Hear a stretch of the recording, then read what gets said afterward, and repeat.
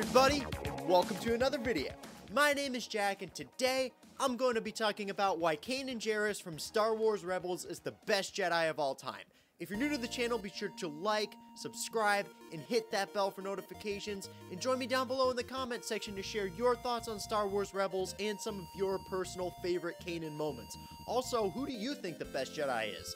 I would love to hear your take in the comments down below. So, 10 years ago this month, the first episodes of Star Wars Rebels came out, and Rebels is just a show that I think is awesome on so many levels. I love how the visual style functions as a tribute to Ralph McQuarrie's awesome concept art, there's tons of great characters brought to life by fantastic voice actors, the exhilarating lightsaber duels are super well choreographed, the mystical world building it taps into is really fantastical and inventive, and the message of recognizing that the galaxy is bigger than yourself and deciding to make a difference really resonates with me. It goes without saying that Rebels is my favorite TV show of all time, and my favorite piece of Star Wars media outside of the original trilogy so I wanted to make a video related to it to celebrate it having a full decade of existence. I also wanted to make something that applied to Rebels' significance within the greater Star Wars saga as a whole, and I've had this one video idea about making the argument as to why Kanan is the best ever Jedi since the channel first started, and I just haven't gotten around to it yet, so I figured what better time than now to finally do it. Though he may not be as brainy as Yoda, as cool as Obi-Wan, or as powerful as Anakin, Kanan Jarrus is the best Jedi in the entire Star Wars franchise. This could be seen seen through how in touch he was with the Force, his triumphant conquest of his inner demons, his exemplary mentorship of his apprentice, Ezra Bridger, and the way he balanced his Jedi stuff with his personal attachments. Kanan was raised in the Jedi Temple and fought as a Padawan in the Clone Wars, so very much early in his life he saw the flaws of the galaxy in the final days of the Jedi Order. Order 66 hit when Kanan was a teenager,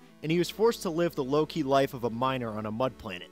But when he sees all the crap that the Empire's putting people through, he realizes that he has to make a difference about it himself. By coming back in touch with the Force in an era with no Jedi Order, Kanan got to really think about what it meant to be a Jedi without the lens of war, politics, and glory the Temple had raised him to look through. The Jedi during the Clone Wars had become militaristic warmongers, and the Jedi who survived Order 66 really got a chance to separate themselves from this clouded philosophy and rediscover what the Order was about in the first place. Obi-Wan and Yoda, for instance, definitely became more in touch with the Force when they went into exile, but prior to this, they were still completely blind to the obvious darkness growing right in front of them. Kanan was able to come fully attuned with the Force and how it functioned without being naive to the re-emergence of the Sith, and this is only one of the many qualities that make him the ideal Jedi. For instance, he was able to fully tame his fear and get the best of it before his fear got the best of him. After Order 66, Kanan decided to go into hiding, only using the Force when he absolutely needed to and not telling anyone except his crew members about his Jedi past. But when him and the Ghost crew are rescuing a group of Wookiee slaves and they require a miracle to hold back the Empire, Kanan decides to reveal himself as a Jedi even though he knows this will put a massive target on his head. His bravery continues to be challenged through the threat of the Jedi hunting Grand Inquisitor, and Kanan starts to fear more and more of what could happen to his apprentice, Ezra. But it's in his final duel with the Grand Inquisitor, he proclaims that he has now overcome his fear when he declares, You're right, I was afraid, but now I know there's something stronger than fear, far stronger, the Force. He then proceeds to kick the Grand Inquisitor's ass. Not only does Kanan beat his greatest enemy by conquering his inner demons, but the Grand Inquisitor choosing to die rather than fail his master, Darth Vader shows how Kanan, fighting the Inquisitor, is a metaphor for Kanan fighting himself. While Jarrus thrives from facing his fears and growing stronger, the main point of the Inquisitor is giving in to fear and suffering things worse than death because of it. The storyline fully concludes when in Season 2, Kanan enters a Jedi temple hoping to find some insight about destroying the Sith. In a vision, he's confronted with the possibility that Ezra can fall to the dark side with a visual metaphor of him dueling a Jedi temple guard,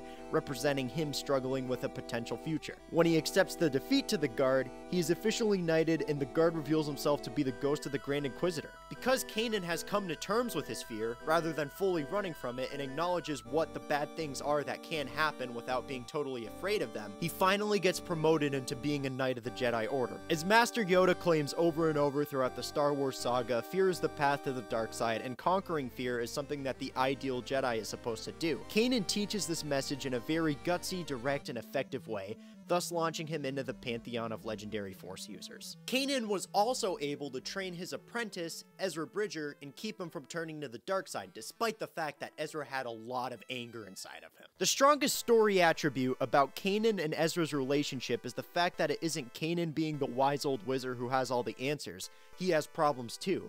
So it's very much him and Ezra on this journey together. There were moments in Rebels where Kanan wouldn't be right, and he'd always be willing to admit when he was at fault, and it helped him understand his Jedi mentors more. A quote that really demonstrates this is when he rephrases Yoda's iconic sentiment to tell Ezra that, I'm not to try to teach you anymore, from now on, I will teach you. If all I do is try, then that doesn't truly mean I believe I can succeed. I may fail, you may fail, but there is no try. It was in his modesty that he was able to acknowledge that he may not always be the best mentor, but he understood it was his responsibility to learn and grow as a teacher while Ezra grew as a student. Furthermore, unlike Obi-Wan, Yoda, or Luke, Kanan's guidance was able to keep his Padawan from drifting towards the dark side, though Ezra did get dangerously close. Following him, Kanan, and Ahsoka's failed mission to Malachor, the Sith homeworld, Ezra was starting to dabble in the dark side of the Force. He was hanging out with Darth Maul a lot, he was mind controlling stormtroopers to make them walk off cliffs, and there were legit fan theories that he was Supreme Leader Snoke. That's how bad his dark side activities were getting. Instead of being completely naive and absent to this like Obi-Wan was, or trying to murder his apprentice in his sleep like Luke did, Kanan tries to be there for Ezra and verbally communicate with him as much as possible. When Ezra apologizes about all the crazy stuff that's recently happened with Maul and Kanan lets Ezra know that he's proud of him, they hug in one of the most powerful master and apprentice moments in the entire series. Whether it's Ezra's parents dying, a confrontation with Darth Vader, or the reclamation of Ezra's homeworld, Kanan was always there for his apprentice, no matter what. Even after Kanan's death, where Ezra's devastated, Kanan is able to reach out from beyond the grave and guide Ezra into resolve for a final lesson. Even though he was blind, Kanan could always see what needed to be done at the end of the day, thus making him a better teacher than any Jedi we see in the films. The last thing I'm going to talk about today that makes Kanan a revolutionary Jedi is his ability to balance his Jedi stuff with his emotional, personal relationships. In the Age of the Republic, Jedi were advised against forming attachments because it makes them more vulnerable to falling to the dark side. A prime example of this being how Anakin Skywalker fell in love with Padme Amidala and resorted to turning to the dark side in order to try preventing her forcing death ultimately bringing about the end of galactic democracy. However, Padme wanted to get help from Yoda or Obi-Wan at first, but Anakin was against this due to the fear of getting banned from the Order. But if the Jedi didn't have issues with Anakin being married, he wouldn't have made a deal with the devil. So ultimately, it's the Jedi's rejection of attachments that led them to their downfall. Because Kanan was able to live a full and complete life outside of the temple, he had opportunities to meet a lot of new people and experience romantic relationships, friendships, and surrogate family situations. He formed a brotherhood with Garazeb Orrelios as well as the old clone Captain Rex. He sort of became a father figure of Ezra Bridger and Sabine Wren. He had a romantic relationship with Hera Syndulla, and he really cared for Chopper and Agent Kallus as well. And this all goes back to why he was such a good mentor to Ezra. Ezra went from a selfish loner to a selfless Jedi who puts his life on the line to save his planet, and he wouldn't have realized the importance of being part of something bigger than himself if not for Kanan and Hera showing him so much love and care. Same deal with Sabine moving on from the mistakes and rejections of her past, ultimately rallying her fellow Mandalorians to stand up to the Empire. And of course, after the destruction of Zeb Orrelios' homeworld, Kanan gave Zeb a new life on board the Ghost. Because he was able to disprove millennia old norms and provide a new definition of what it means to be a Jedi, Kanan Jarrus is an absolute legend. Kanan was able to obtain all the attributes that make a perfect Jedi. He was able to conquer his inner demons, he kept his apprentice from turning to the dark side, and he came fully in touch with the Force without the veil of politics and war. But he was able to expand upon that being able to do all of this without a master to complete his training, and he balanced the use of the Force with a romantic relationship and surrogate family. Regardless of whether or not you see Kanan as the best Jedi of all time like I do, it goes without saying that he embodies everything a Jedi Knight should be and more. Freddie Prinze Jr. was just amazing in this role, and Kanan is a character I very much admire and look up to, so I had a bunch of fun making this video. But that's gonna have to wrap it up for this video essay.